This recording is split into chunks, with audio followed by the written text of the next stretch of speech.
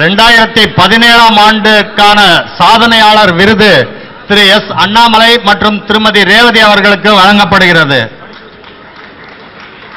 உயர்கணித சாரஜோதிட முறையினை பற்றி மிக சிறப்பாக நூல் எழுதுவது டெலிகிராம் குரூப்பில் ஃபேஸ்புக் போன்றவற்றில் தொடர்ந்து செயல்படுவது என்று உயர்கணித சாரஜோதிடத்தினை முன்னெடுத்து சாதனைகள் பல புரியும் நம் சங்க உறுப்பினர்களில் வருடந்தோறும் இரண்டு உறுப்பினர்களுக்கு ஒருவர் ஆண் ஒருவர் பெண் என்ற வகையில் சாரஜோதிட சாதனையாளர் விருது வழங்கப்படுகிறது.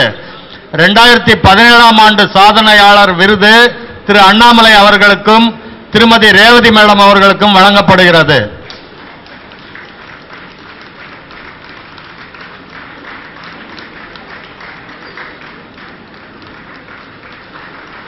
ரேவதி மேடம் ரேவதி மேடம் போங்க.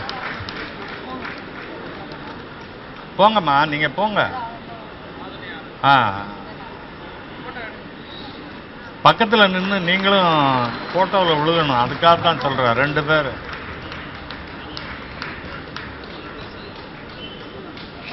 அண்ணாவில் அப்படியே இருங்க அவங்களுக்கும். நீங்கள் அப்படியே ஆண் பெண் ரெண்டு பேருக்கும் விருது இல்லை ரெண்டு பேரும் சேர்த்து திருமதி ரேவதி மேடம் அவர்களுக்கு சாதனையாளர் விருது வழங்கப்படுகிறது.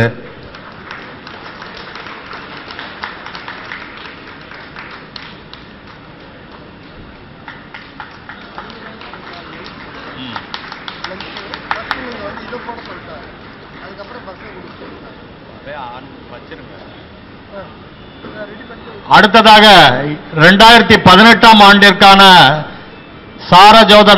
சாரஜோதிட சாதனையாளர் விருது பெறுவது திரு முருகசுப்பு ஐயா அவர்கள் மற்றும் திருமதி வெண்ணிலா மேடம் அவர்கள். ரெண்டாயிரத்தி பத்தொன்பதற்கான ரெண்டாயிரத்தி பத்தொன்பதாம் ஆண்டிற்கான சாதனையாளர் விருது உங்களில் இருவருக்கு வழங்கப்பட இருக்கிறது. அது யாருங்கிறது அடுத்த ஆண்டு விழாவில் தெரியும். போங்க